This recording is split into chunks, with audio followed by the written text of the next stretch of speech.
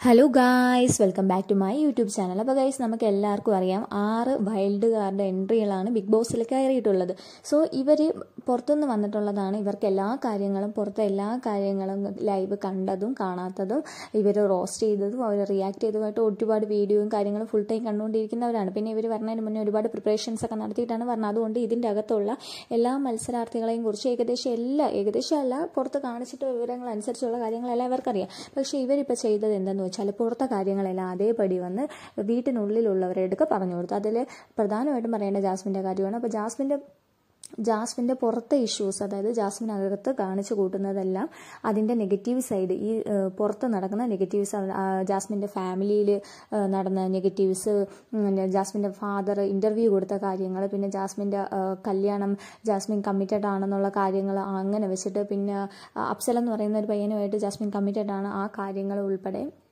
പല കാര്യങ്ങളും. പുറത്ത് നടക്കുന്ന ജബ്രി ജബ്രി ഫാൻസ് ജബ്രി കോംബോ അങ്ങനത്തെ കാര്യങ്ങൾ ഉൾപ്പെടെ പല കാര്യങ്ങളും പുറത്ത് നടന്നത് അതുപോലെ വള്ളി പുള്ളി തെറ്റാതെ പറഞ്ഞു കൊടുക്കുകയാണ് അപ്പം ഇതിനിടയിൽ ബിഗ് ബോസ് ഒരു തവണ അനൗൺസ് ചെയ്തിട്ടുണ്ടായിരുന്ന പുറത്ത് അത് സീക്രട്ട് ഏജന്റിന്റെ അടുക്കാണ് പറഞ്ഞിട്ടുള്ളത്. പുറത്തുള്ള കാര്യങ്ങൾ അകർത്ത് പറയരുതെന്ന്. എന്നാൽ ബിഗ് ബോസിന് ഇങ്ങനെ പറഞ്ഞാലും ഇവർ വീണ്ടും വീണ്ടും വീണ്ടും ഇങ്ങനെ പറഞ്ഞുകൊണ്ടിരിക്കുകയാണ്. ഇതിപ്പോൾ ഒരാൾ ഒരാൾ മാത്രമല്ല ഗൈസ് ഈ വന്ന ആറ് പേരും ഓരോ കാര്യങ്ങൾ നിങ്ങളിത് ചെയ്തില്ലേ നിങ്ങളത് ചെയ്തില്ലേ നിങ്ങളിത് ചെയ്തില്ലേ എന്ന് എടുത്തെടുത്ത് ചോദിച്ചുകൊണ്ടിരിക്കുകയാണ്. പക്ഷെ അങ്ങനെ ചെയ്യുന്നത് തെറ്റാണ്.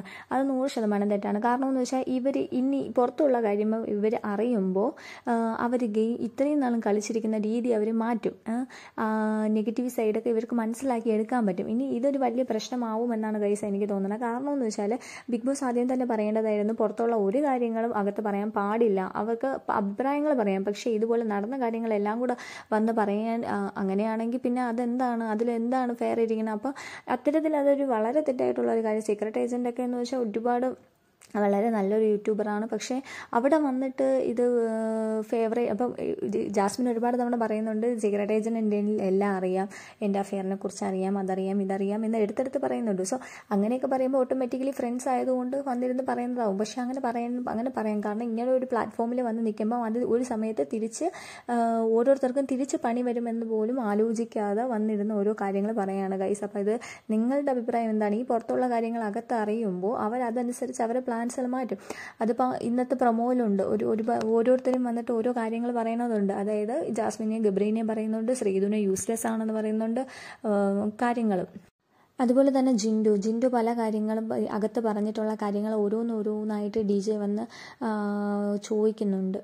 അതിന്റെ ക്ലാരിഫിക്കേഷനും കാര്യങ്ങളൊക്കെ അവിടെ നടത്തുന്നുണ്ട്. അപ്പോൾ ഇത്തരത്തിൽ അവരിവിടെ പറഞ്ഞ കാര്യങ്ങൾ ഇതിന്റെ അകത്ത് പറഞ്ഞ കാര്യങ്ങൾ ഇതിന്റെ അകത്ത് നിൽക്കണമായിരുന്നു. പക്ഷെ അത് ഇവർ പുറത്തുനിന്ന് കേട്ടിട്ട് വന്നിട്ട് അത് ഇപ്പോൾ ജാ ഗബ്രി ആയാലും ഗബ്രി പ്രപ്പോസ് ചെയ്ത് ജാസ്മിന്.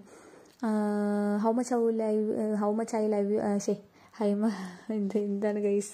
How much I love you എന്ന് പറഞ്ഞ് പ്രപ്പോസൊക്കെ ചെയ്തിട്ടുണ്ട്. ആ ഒരു രീതിയിലുള്ള ടോക്ക് ഉണ്ടായിരുന്നു. പക്ഷേ ഇവർ വന്ന് അത് സംസാരിക്കുമ്പോൾ അതിനവർ വേറൊരു രീതിയിൽ അതായത് അവർ ഭാഗം ന്യായീകരിച്ച് സംസാരിക്കും പോലെ നമുക്ക് കാണാം. നിങ്ങൾ ആ ലൈവ് ഇന്നത്തെ എപ്പിസോഡൊക്കെ വരുമ്പോൾ നിങ്ങൾക്ക് മനസ്സിലാവും.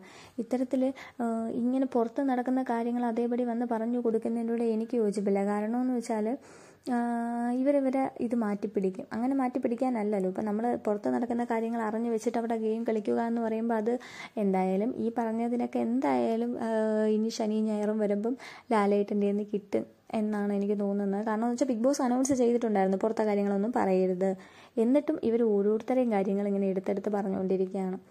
അതങ്ങോട്ട് ശരിയായിട്ടുള്ള കാര്യമല്ല ഗൈസ് അങ്ങനെയാണെങ്കിൽ ഇവർക്ക് പല കാര്യങ്ങളും അറിയാൻ പറ്റും. ഇനി ജാസ്മിൻ ഈ വീട്ടുകാരെ കാര്യമൊക്കെ അറിഞ്ഞതിനെ കൊണ്ട് ഇനി എന്തൊക്കെ ഈ കാര്യങ്ങൾ വേറെ രീതിയിൽ പോകുമൊന്നുമില്ലെന്ന് നമുക്കറിയത്തില്ല.